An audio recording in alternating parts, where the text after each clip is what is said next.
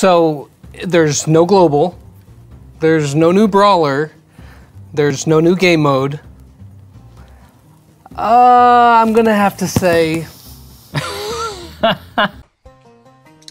E aí galera, estamos de volta com mais um vídeo no nosso canal. Nesse vídeo nós vamos falar sobre o Brawl Talk que foi divulgado na última terça-feira. Então, vamos, Cláudio, começando por você, falando sobre algumas novidades. Então, a expectativa era muito grande para esse update, muita gente esperando conteúdo novo, brawler novo, talvez novo modo de jogo. Se vocês forem lá assistir nossos palpites no, no último vídeo, a gente também apostou que ia, ter, que ia ter conteúdo novo, que ia ter ao menos um brawler novo. E é, nesse sentido ele foi bem resumido pelo Lex. Se você prestar atenção, ele disse: é, não tem brawler novo, não é, não é lançamento global, não tem novo modo de jogo, então para quem estava com grandes expectativas no, no, novo update, isso é um uff, é realmente um soco no estômago. A comunidade está furiosa com a Supercell e eu diria um pouco com razão, porque eles faltaram um pouco de comunicação com a gente. Por outro lado, essas mudanças que eles fizeram do, da perspectiva de desenvolvimento elas realmente levam muito tempo, porque eles tiveram que refazer muita coisa, não é, Cristina? Exatamente. Foi uma mudança bem, de acordo com eles, né? Bem trabalhosa, né? Pra gente parece uma mudança pequena, mas como ele falou, levou bastante tempo, né?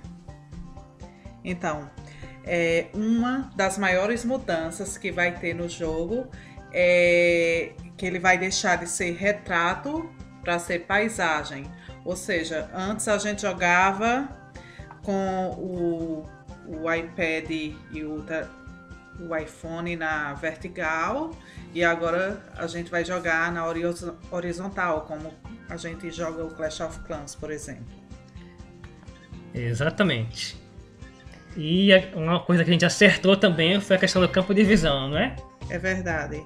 É que antes tinha uma grande desvantagem, né? Quem jogava assim com brawlers de longo alcance no iPhone não tinha a mesma, tinha uma visão maior e quem jogava no iPad não tinha essa vantagem.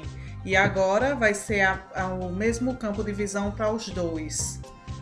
Exatamente. Mas tem uma novidade que Cláudio tem que não foi divulgada. É isso aí. Agora aqui, aqui, aqui no nosso canal, onde você vai descobrir as coisas que não estão no Brawl Talk e, e mesmo em outros lugares, você tem que constar vários lugares diferentes para você conseguir coletar essas.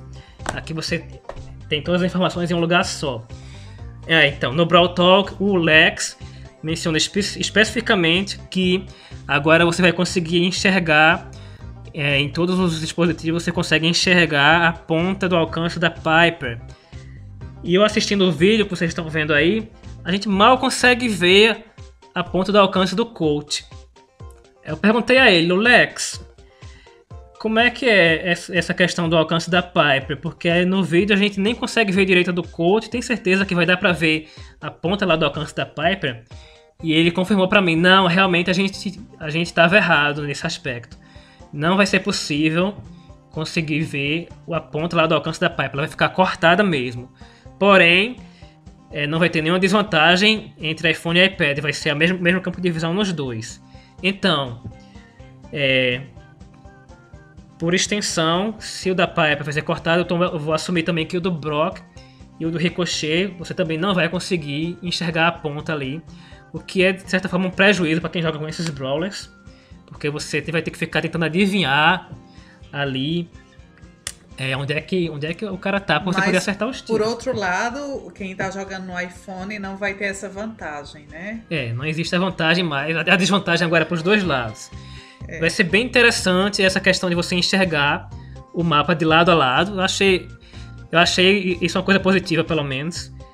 É, vamos ver como é que o meta vai evoluir com isso agora. Novas estratégias devem surgir, porque não vai ser fácil você correr ali pela lateral escondido. Você, todo mundo vai, vai poder ver onde você está tá entrando.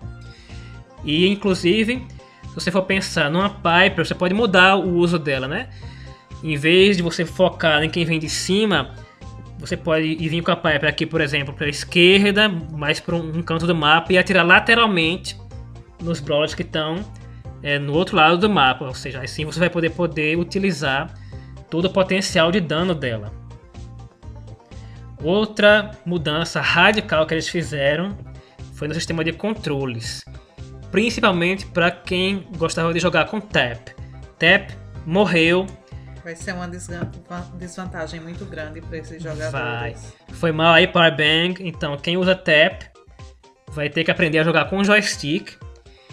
E mesmo quem usa joystick não vai ter uma vantagem tão grande assim, porque eles estão adicionando um segundo joystick. Se vocês prestarem atenção no vídeo aí, na direita tem um joystickzinho vermelho, que é o que você vai usar para poder atirar, mirar e atirar nos, nos outros jogadores. Então você não vai simplesmente guiar é, com tap mesmo, ou com, com, com o dedo, para você poder mirar onde você vai jogar, jogar uma garrafa do, do Barley, ou, ou atirar mesmo com a Piper, vai ser com o joystick, então vai ter um período de adaptação mesmo para quem usa joystick, como foi mencionado no Brawl Talk pelo Ryan, que pessoalmente disse que levou alguns dias para poder reaprender a jogar. E o próprio Lex também é, comentou no vídeo que se você espera que vai ter o mesmo desempenho imediatamente quando começar a jogar depois do update, isso não vai acontecer, vai ter um período de adaptação. Eu pessoalmente recomendo e vou fazer isso assim que sair o update. Jogar um pouquinho com bots e aprendendo os controles antes de você poder entrar. Jogar com nossas mini accounts, né? No, é, ou jogar com as minis também pode ser, antes de você entrar em partidas reais. É, antes de você se acostumar com os controles. Então, é, é, uma, é uma, ideia boa que a gente está dando aí. Outra coisa, informação que não está no Brawl Talk. Não vi também em nenhum outro lugar esse conteúdo em português. Vai ter um mapa novo no Smash and Grab de acordo com o Coach Corey.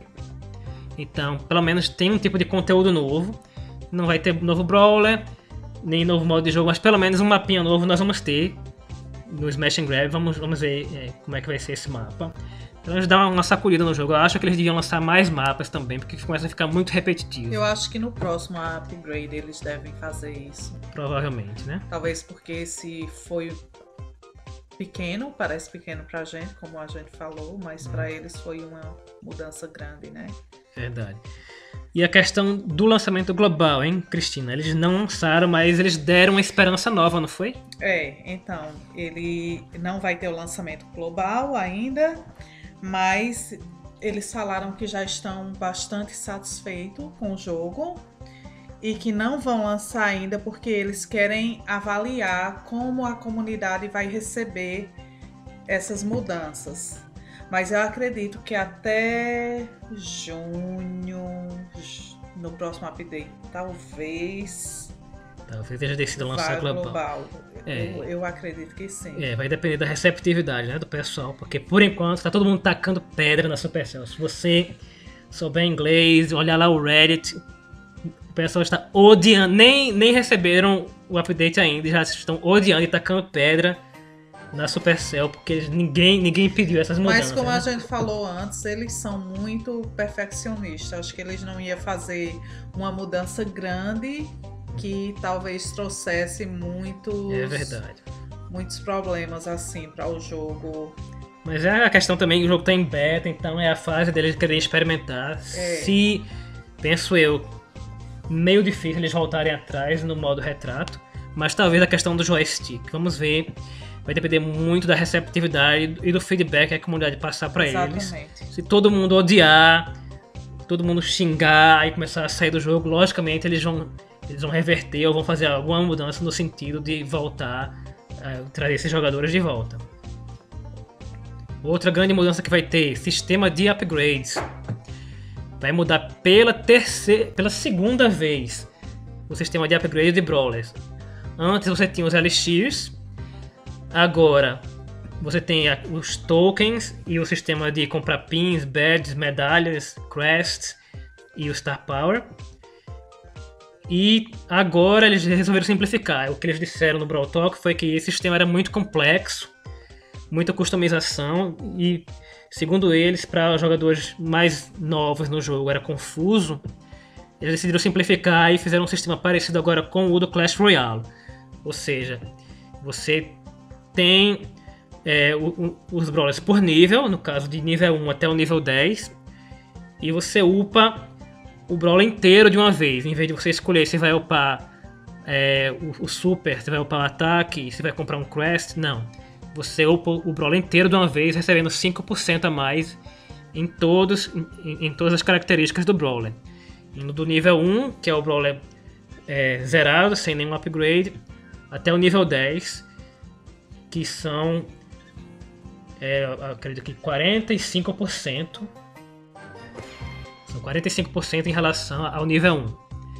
Então, nesse sentido, você percebe que está evoluindo é, a distância entre um brawler é, inicial e um brawler full, que no começo da primeira versão era 25% a diferença. Na segunda versão, a atual, 35% e agora vai ser 45%. Ou seja, cada vez mais difícil para um brawler, uma pessoa que não tem um upgrade nos brawlers, competir com uma pessoa que tem um brawler full. Seu brawler, que vai, no caso de 0 a 50, você vai ter uma correspondência entre o nível final do brawler. Por exemplo, se você tem um brawler full, você vai receber no final das contas um brawler full depois do update.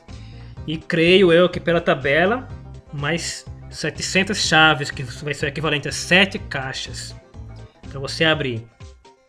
Se você tem um brawler como alguns dos meus, é, que eles têm tudo menos o Star Power, eles vão ser convertidos para o nível 9, ou seja, não vão ser full e vão receber mais algumas caixas. Então, nesse caso, teria que upar para o nível 10 e a partir do nível 9, no caso, você já pode ter o Star Power também, que ele pode tanto vir numa caixa, como também ser comprado na loja, é uma das novidades da Supercell.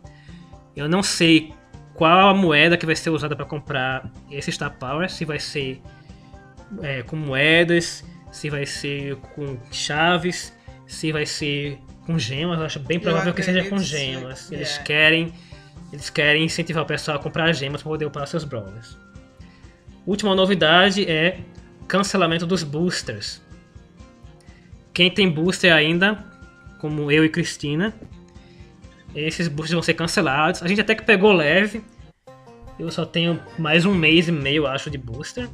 Mas teve gente que quando soube que eles não iam mais ser vendidos, comprou dois anos de booster antecipadamente.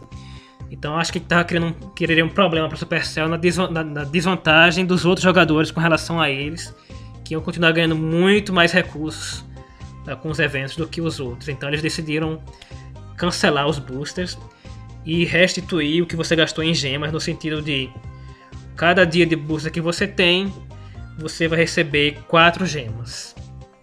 Então, galera, é isso aí. Se vocês gostaram do vídeo, dá um like e segue nosso canal.